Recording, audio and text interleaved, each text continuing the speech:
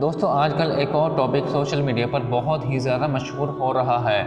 खुद को रैशनलिस्ट बताने वाले जफ़र दिलायर और दूसरे बहुत से एंटी इस्लामिक यूट्यूबर्स हज़रत मोहम्मद सल्लल्लाहु अलैहि वसल्लम और हज़रत सफ़िया रदी अल्लाह तहा की शादी के मुतालिक एतराज़ करते हुए इसे रेप तक साबित करने की कोशिश करते हैं। इनका मेन आर्गूमेंट ये है कि हज़रत मोहम्मद सल्लल्लाहु अलैहि वसल्लम ने हज़रत सफ़िया रज़ी अल्लाह तहा के पति और उनके पिता को कत्ल करके ज़बरदस्ती हज़रत सफ़िया रज़ी अल्लाह तहा से शादी की और इस तरह इसे रेप साबित करने की कोशिश करते हैं। सबसे पहले बात करते हैं कि उन्हें कत्ल क्यों कर दिया गया था।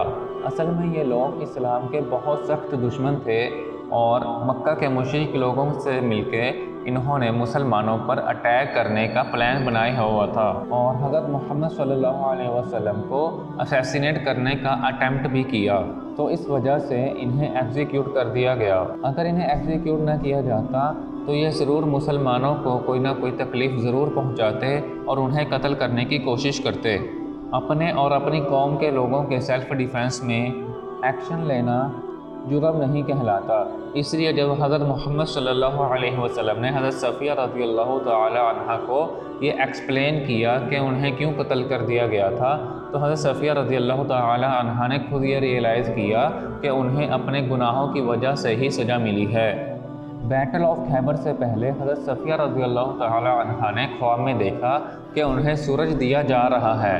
उन्होंने अपने शोहर से ये बात बताई तो उसने हज़रत सफ़िया रज़ी अल्लाह तहा के चेहरे पर बहुत ज़ोर से तमाचा मारा और उनसे कहा कि आपके दिल में मोहम्मद सल्लल्लाहु अलैहि वसल्लम के प्रति प्रेम है, इसलिए आपको यह ख्वाब आया है। तो इससे हमें मालूम होता है कि उनका पहला पति बहुत एब्यूज़िव नेचर का था और अल्लाह ताला ने हज़रत सफ़िया रज़ी अल्लाह तहा के दिल में मोहम्मद सल्लल्लाहु अलैहि वसल्लम के प्रति प्रेम पहले से ही डाल रखा था।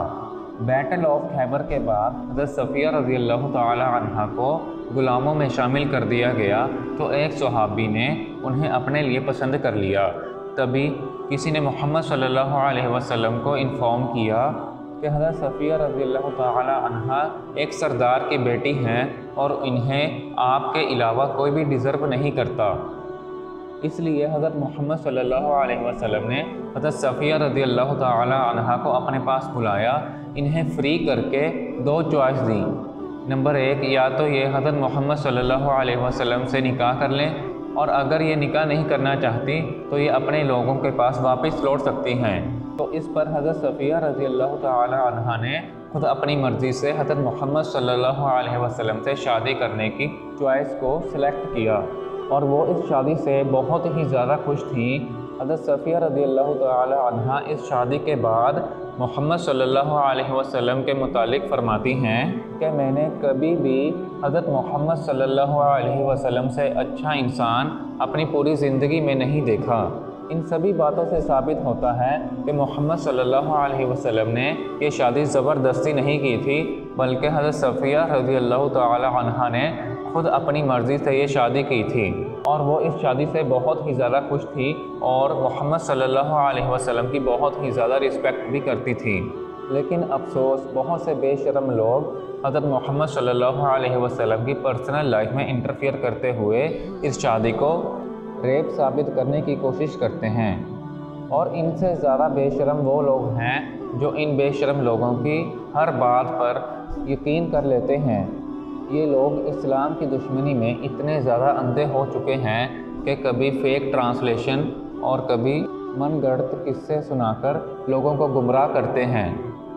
समझदार इंसान वही है जो इनकी हर बात पर यकीन करने के बजाय खुद रिसर्च करे, क्योंकि आखरत की ज़िंदगी कभी ना ख़त्म होने वाली ज़िंदगी है, या तो हमेशा हमेशा के लिए जन्नत में और या फिर हमेशा हमेश के लिए जहन्नुम में फेंका जाएगा। ज़फ़र जैसे धोखेबाज इंसानों पर यकीन करते हुए इस्लाम को एक्सेप्ट ना करना सिर्फ़ मूर्खता ही है।